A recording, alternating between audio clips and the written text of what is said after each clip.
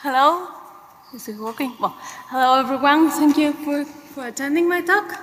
As he said, my name is Julia. You can contact me on those social accounts. And I work at this little startup called Bcode in Spain. So what we're talking about this morning uh, is I'm telling you the story on why I decided to package my client application as a binary, uh, how I did it, and the implications I found on the way. Uh, so let's start in the beginning. It's April 2013. We just have finished our prototype of our application entirely written in Java. Uh, we have this new smart engineer on board who's also very brave because first thing he does as he joined us is try to convince the CTO to move into Python.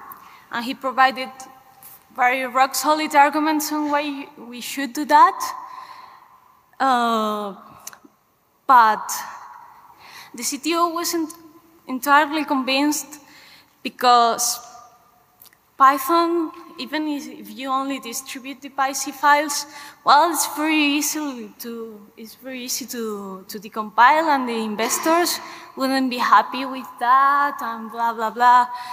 But I was hating Maven at the moment, slow as hell, and I also wanted to move into Python. So ah, I said, well, just let me do some research on the thing.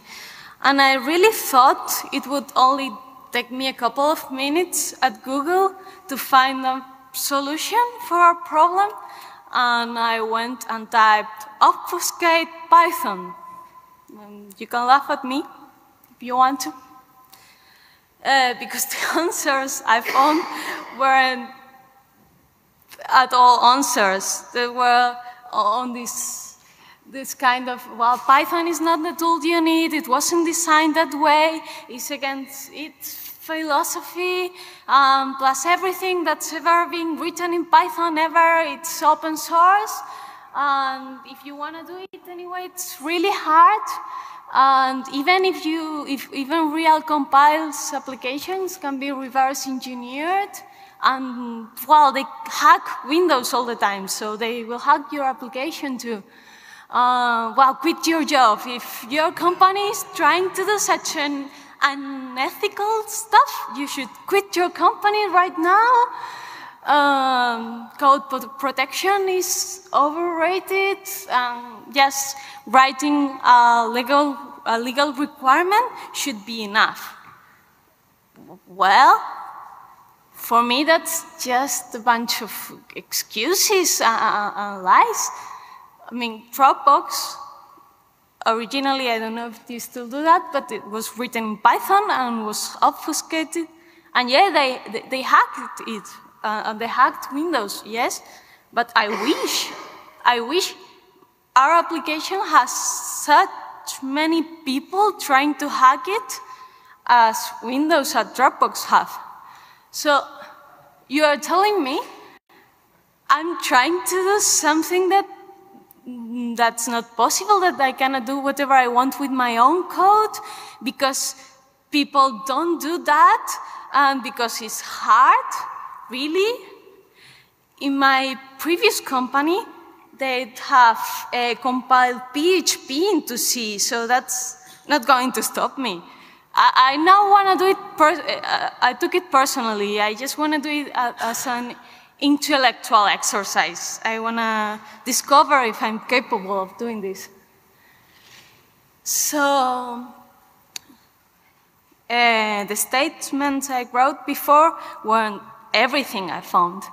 There was a guy suggesting that maybe you could try to use Cython to compile your Python code into C code and then go on. So that's where I started. So this is the process I came uh, out with.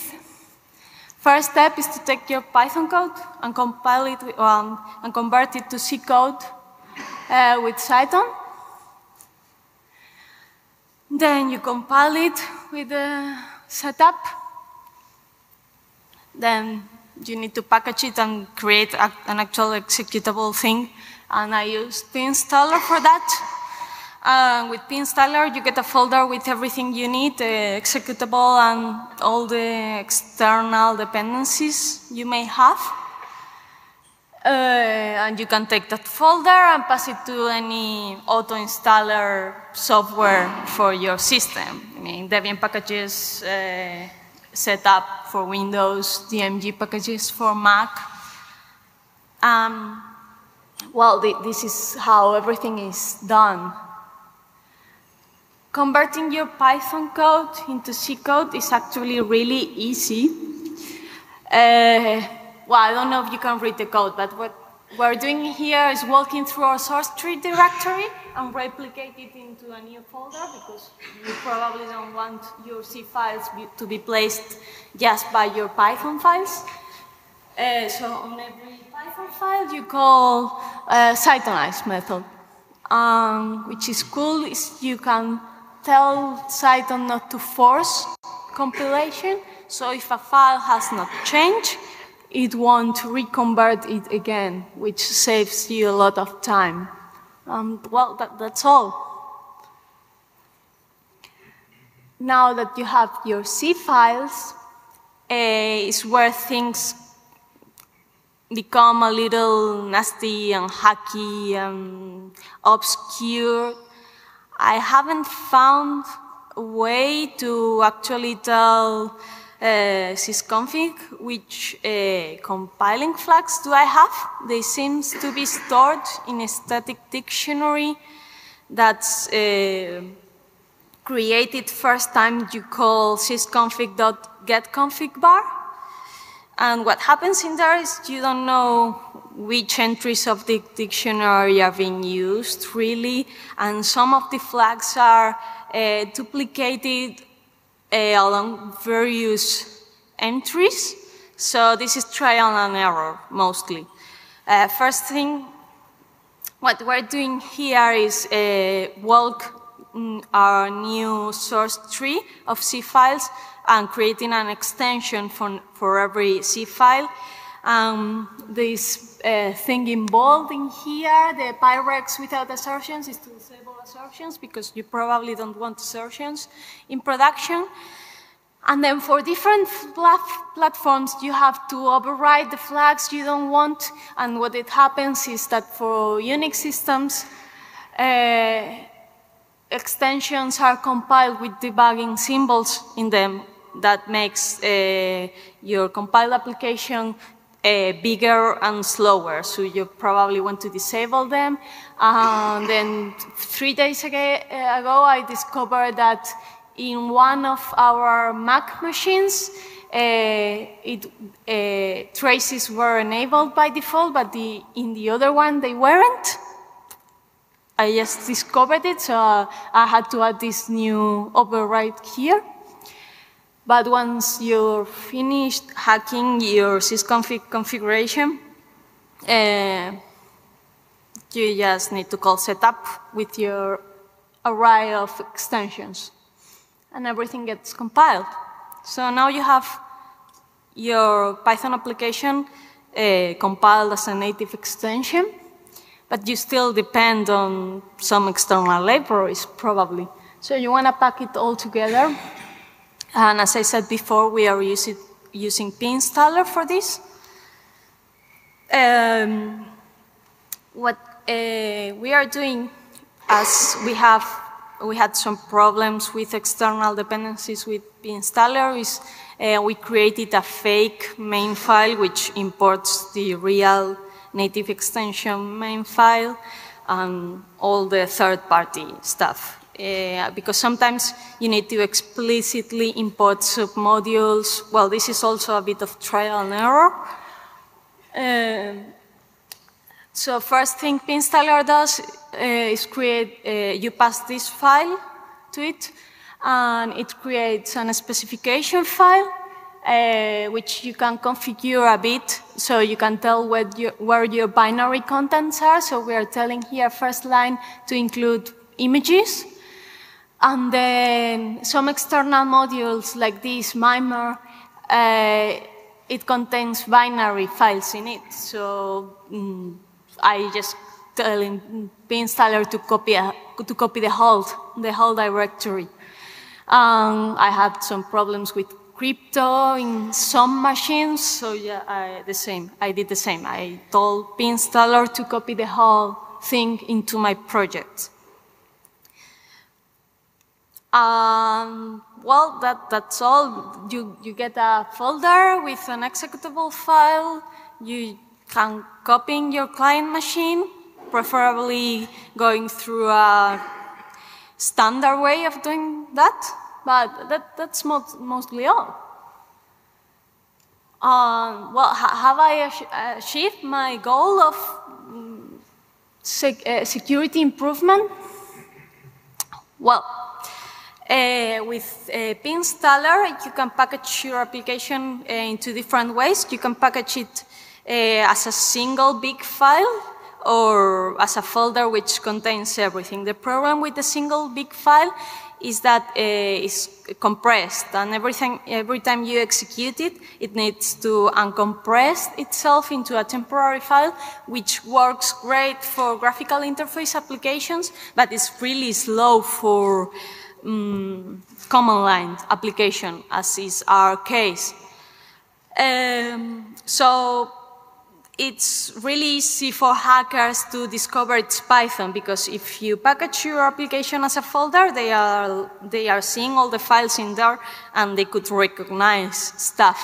But even if uh, you package it all together, you can execute your application uh, within a program that will print you every assembly line, sometimes with an extra help like this thing in there. So everyone would recognize that that's running Python on the inside.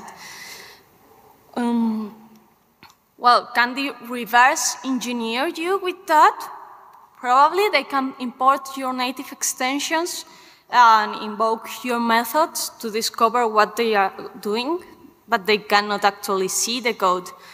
Um, they even have help, because if you didn't tell Cython not to, uh, by default will, include the doc strings of your methods. But well, it's safer than not doing anything. Other implications uh, you may ask, uh, it has, well, I'm using C, so is this any more efficient than, than running just the Python code? So I did a little benchmark, uh, but first I need to explain what uh, our project does. What a Bcode project does is uh, take a C++ project, C, uh, source, and analyze it, uh, discovering all the interconnections among the files in the project and the external projects you may be using. So it's a CPU-bound processing. So this uh, benchmark I did uh, on the x-axis, uh, I have the number of files in your C++ project, while on the y-axis I have a time to process them, just processing time, not reading from disk, obviously. So what happens is that for small projects or medium-sized projects, like under 500 files, uh, efficiency gain in time is around 7%, which itself is not bad. But for really, really big projects, and this one, uh, last, this last one is SDL, SDL library, which has over 2,000 files, efficiency gain was of three seconds, which for, from user experience perspective, it's a lot. And it's a 32% time uh, gain. So I think overall, the process wasn't hard, wasn't difficult, and we gained something in the way. So I think there was the reaction on the internet wasn't good enough. So, well. Uh, did you change your Python code or did you just use it as is with Python? I used it as is. Uh, I, I have more time for questions. And if you want to read in more detail about all this process, I have a series of blog posts. Ah, sorry. I have a series of blog posts uh, written with uh, wider uh, snippets of code. I will put this on the internet later so you can go and read them. Uh, so time for more questions.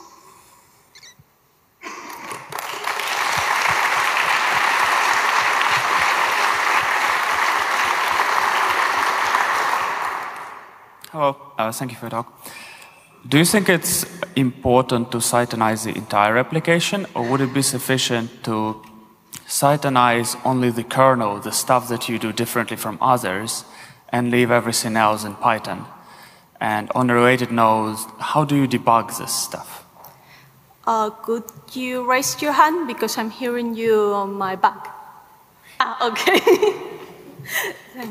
um, well, uh, as it isn't difficult at all to cytonize the application, um, I don't mind uh, cytonizing it all or just the processing part.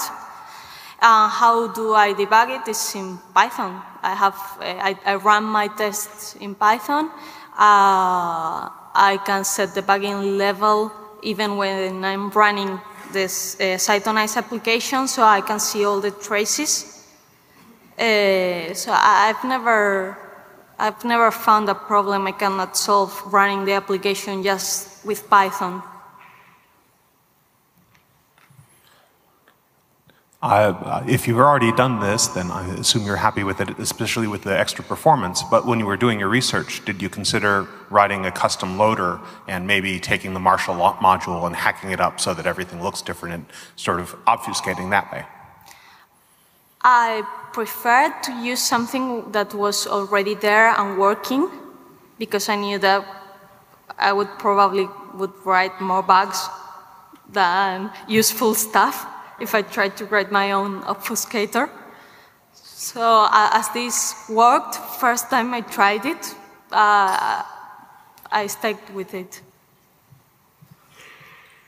Um, so I saw that you uh, called the cythonize function manually, but uh, probably know that uh, there's an extension for the extension object that, uh, that automatically does the siphonizing part for you, so you can actually pass the, the pyx file to the extension. Is there any reason you did it that way, or?